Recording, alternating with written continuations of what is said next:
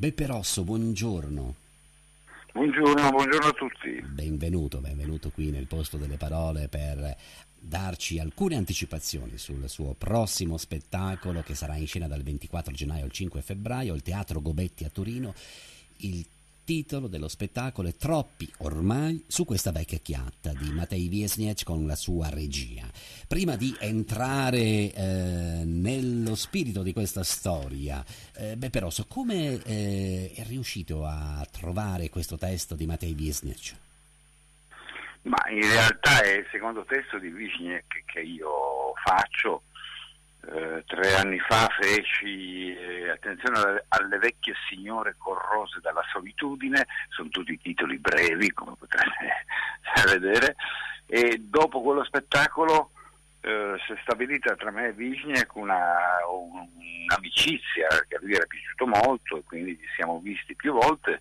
Lui ha scritto questo testo, ha finito di scriverlo a marzo eh, dello, dello scorso anno appena finito di scriverlo, già mentre lo scriveva mi inviava le varie parti, me l'ha inviato e, e quindi io l'ho proposto al Teatro Stabile e la cosa è avvenuta. Questo testo, oltre ad essere per l'Italia, eh, noi abbiamo l'esclusiva, la nostra compagnia, ma sta per essere allestito in Francia, in Inghilterra e in Portogallo perché affronta dire, l'urgenza di questo momento eh, sta invadendo l'Europa. Insomma. Ricordiamo che Matej Wiesniec eh, è un giornalista, un drammaturgo, un poeta e quindi eh, racconta con eh, il suo piglio il dramma, il dramma, questa, il dramma della resistenza per, eh, umana per riprendere anche un suo precedente lavoro e continua ad analizzare per l'appunto questa esistenza umana. Questo spettacolo, eh, Beppe Rosso, che cosa racconta? Troppi ormai su questa vecchia chiatta. Sì, no, mm, posso aggiungere alcune Prego. cose che Vignac ha una grossa radice eh, anche nel teatro dell'assurdo che nasce da Ionesco, Ionesco non per nulla era rumeno eh, e quindi Vignac eh, ha questa anima di affrontare i grandissimi temi drammatici ma sempre con una visione eh, un po' paradossale, assurda per ridare il dramma, in, per vederlo sfaccettato sotto forme diverse. Questo, questo testo lo si può vincere anche dal titolo, troppi ormai su questa vecchia chiatta parla degli emigrati e dell'Europa, questa chiatta eh, sono gli emigra- migranti che arrivano su questi barconi, ma anche l'Europa, la vecchia chiatta dell'Europa che non sa più come fare e si sente invaso, si sente in troppi. No? Quindi parla dei, eh, dei drammi umani, logicamente di quelli che arrivano, ma anche dei loro paradossi, eh, delle, loro, eh, delle loro contraddizioni e ugualmente parla dei paradossi e delle contraddizioni dell'Europa che sembra un po' essersi eh, persa dilaniata da, da, un dramma morale. Quindi è una tragedia che si, si, scontra, la tragedia di quelli che arrivano e la tragedia dell'Europa che non sa bene come fare. Questa è una visione mh, un po' particolare che io non ho ancora vista in altri spettacoli che trattano l'argomento, che normalmente eh, si parla delle storie di chi arriva, mh, i poveracci, di... qua. È un po' diverso.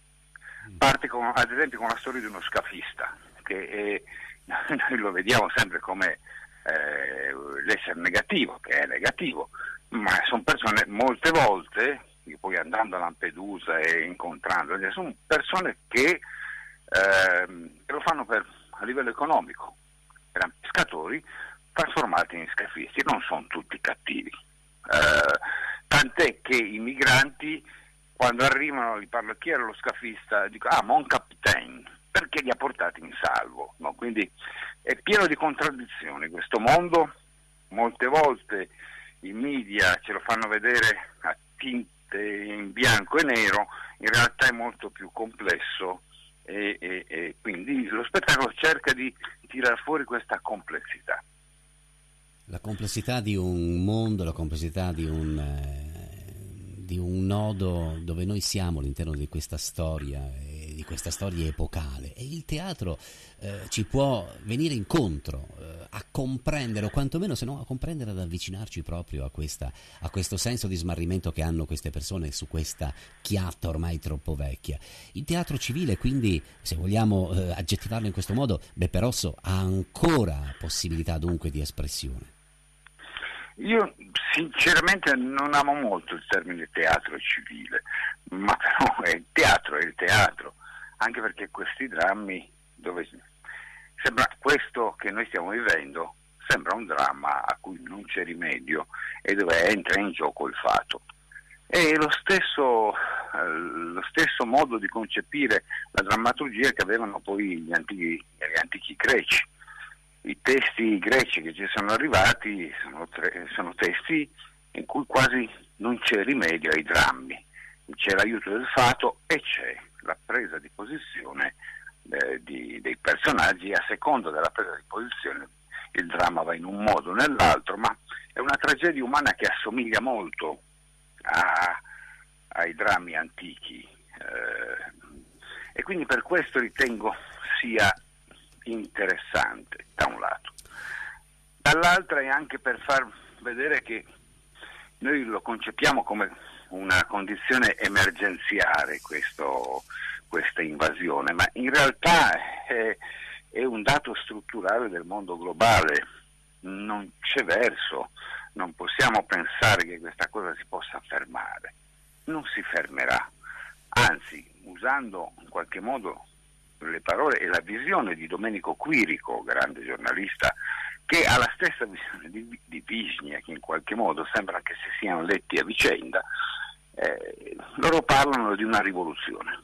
Quella che è in atto è una grande rivoluzione, che come tutte le rivoluzioni eh, ha delle parti molto drammatiche, ma anche delle parti interessanti e belle. Non per niente Domenico Quirico dice l'attenzione mediatica e politica eh, molto di più al rumore dell'albero che cade e rischia di non farci sentire il rumore dirompente della foresta che cresce.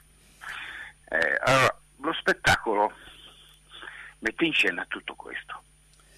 Beppe Rosso, tra l'altro lei ha citato Domenico Quirico che sarà presente il 25 gennaio alle 17.30 al Teatro certo. Cobetti insieme con Armando Petrini del DAMS e lo stesso drammaturgo Mattei Viesni, eh, c'è il regista eh, lei stesso, Beppe Rosso è attore e insieme con Gerardo, Gerardo Guccini del DAMS e il giornalista come abbiamo già detto Domenico Quirico. Però questo spettacolo va in scena in prima nazionale martedì 24 gennaio e, e c'è il grande debutto al Teatro Gobetti. Lei poco fa eh, parlava di tragedia greca, ma ecco, quando io penso alle tragedie greche e poi eh, relativamente a questo, per esempio a questo spettacolo, mi chiedo, ma è vero, è una tragedia che somiglia a quelle tragedie greche, ma noi con il nostro sguardo, quando vediamo una tragedia greca, non abbiamo forse la, eh, la, capacità, parlo per me in questo caso, la capacità di trasporre quella tragedia al mondo di oggi ed è quello che ci manca, anche perché le tragedie greche insegnano delle cose che sono utilissime oggi. Beh, però in realtà se uno prende, se uno prende le supplici, eh, le supplici che questo gruppo di donne emigrate che arrivano dalle inseguite, che arrivano dall'Egitto, è molto, molto simile, non per niente Moniovadia, Moniovadia ne fece, eh, mi pare lo scorso anno, una, in Sicilia ne fece una versione eh, simile.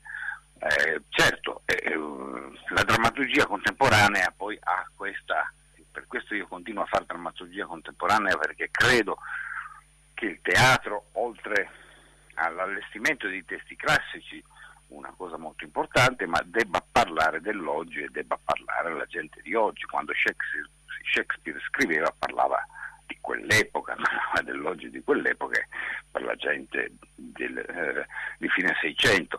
Eh, eh, credo che si, abbia una funzione molto importante la, la drammaturgia contemporanea perché parla alla gente, la gente si può in qualche modo mh, trovare, identificare o, o porsi dei dubbi perlomeno su ciò che sta vivendo.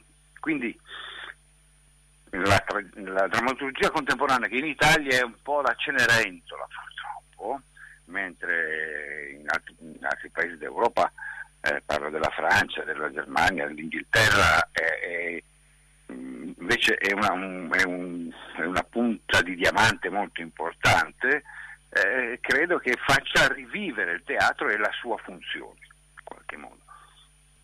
Beppe Rosso, noi la ringraziamo del tempo che ci ha dedicato per eh, questa anteprima nazionale del Teatro Gobetti. Grazie ancora e buon lavoro con il teatro. Grazie a voi e spero di vedervi. Buona giornata. Qualcuno che ci sta sentendo al Teatro eh, Gobetti. Buongiorno. Arrivederci.